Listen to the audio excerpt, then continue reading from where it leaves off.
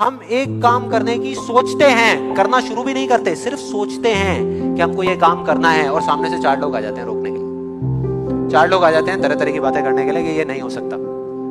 अरे, बड़ा इम्प्रैक्टिकल सा आइडिया है। जब कोई नहीं कर पाया तो तू क्या करेगा?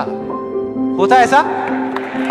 कितने लोगों के साथ ऐसा हुआ है? सबके साथ हुआ है और होता रहता है। और मेरे साथ तो पता नहीं कितनी बार हुआ है। किसी के साथ कुछ ज़्यादा ही हुआ है, लगता है।